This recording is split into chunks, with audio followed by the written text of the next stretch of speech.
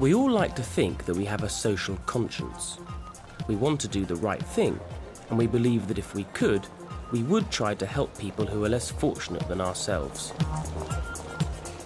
But it's still inspiring to see other people putting these thoughts into action. When Bill Gates started his computer company, Microsoft, in 1975, he couldn't have guessed that fewer than 25 years later, he would have become the richest man in the world.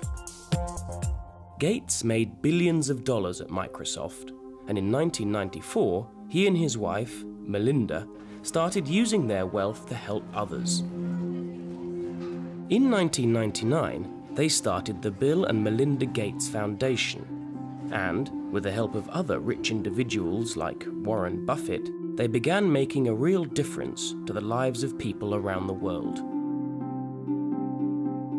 In 2008, Bill Gates started working full time at the foundation. By 2010, the foundation had given over $24 billion to programs around the world, with work focusing on global development and healthcare. Much of this work focused on preventable diseases that affect the developing world. Two thirds of deaths in children under five in developing countries are due to diseases that can be prevented, such as malaria.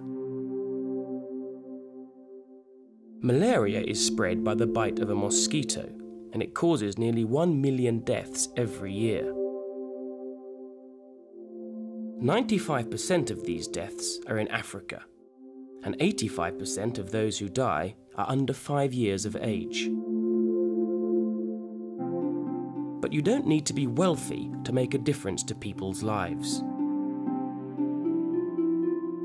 The day to day work of an individual can be just as important as the huge resources of a billionaire's foundation. Sometimes you just need to have the time and the desire to help make a real difference. This is Pam Llewellyn, a nurse from a small town called Upton in England. When Pam retired at the age of 59, she knew that she wasn't ready to simply stop helping people.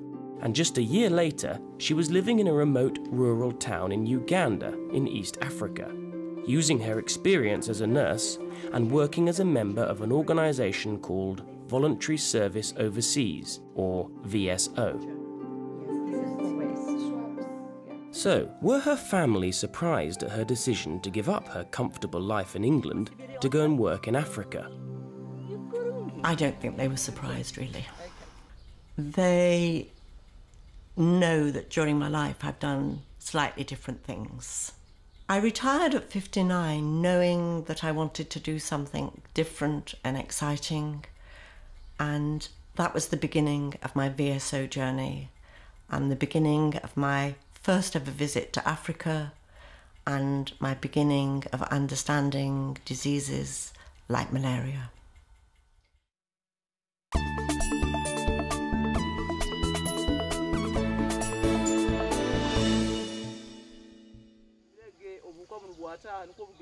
VSO is an international organisation that works through volunteers to fight poverty and disease around the world.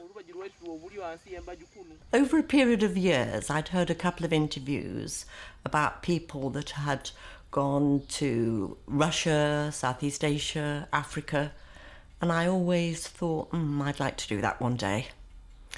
And coming up to retirement, I thought, I'm going to fill in the form and see what happens.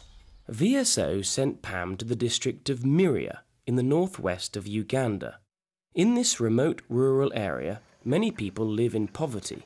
A lot of villages haven't got running water, and people have to get their water from a pump. Life expectancy in Uganda is only 45.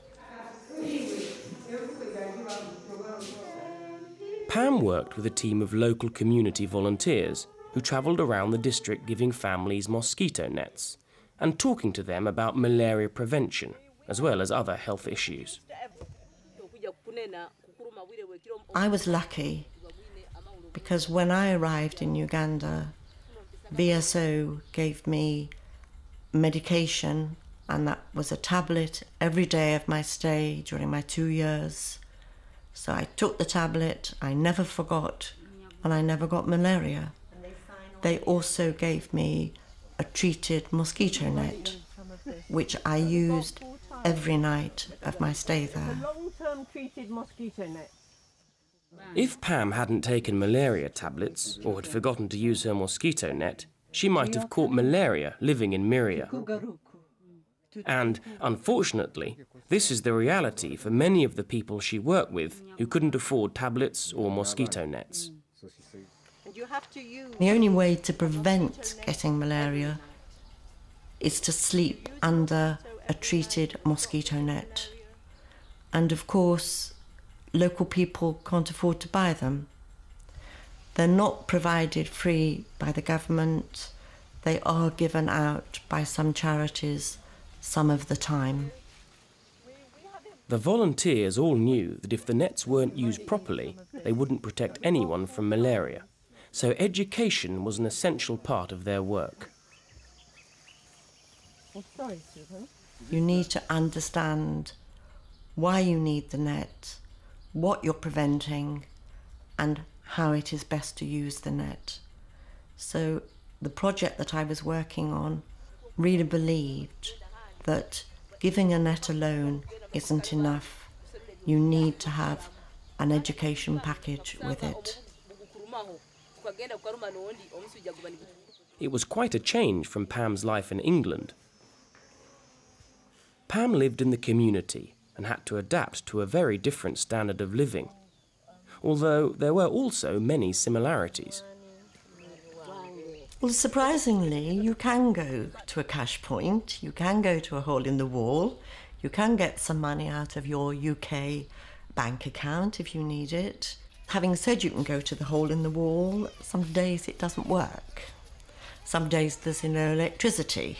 It's very much the same. Um, there are shops of a sort, um, Lucky Seven supermarket, which we used to joke that if there were seven things you wanted, you were lucky. Um, but you just adjust your life. Okay.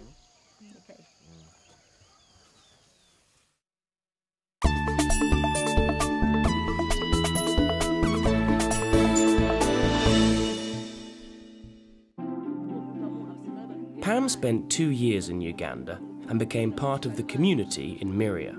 Through her work, she didn't just help to change the lives of many people she cared for, she changed her own life too. I don't think I will ever be the same again. I feel differently about how I live here. I feel differently about how my family live.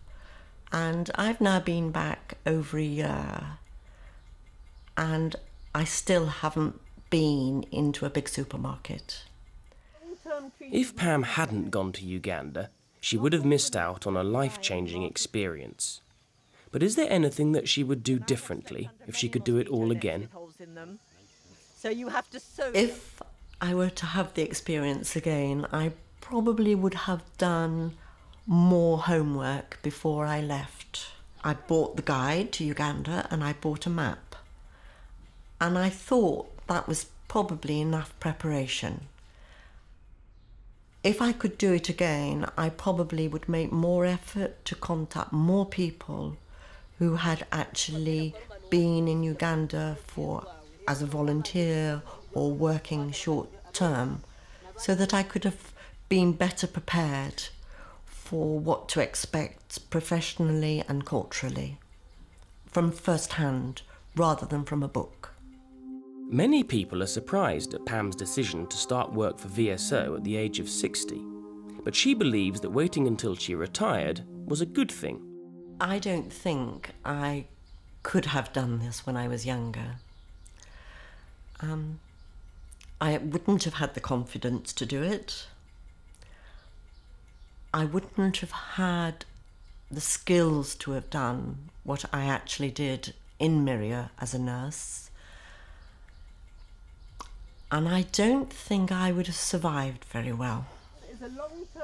I don't know, but personally, for me, I think it was the right time. and it would not have worked so well had I gone when I was younger. And what was the most rewarding part of her two years in Uganda?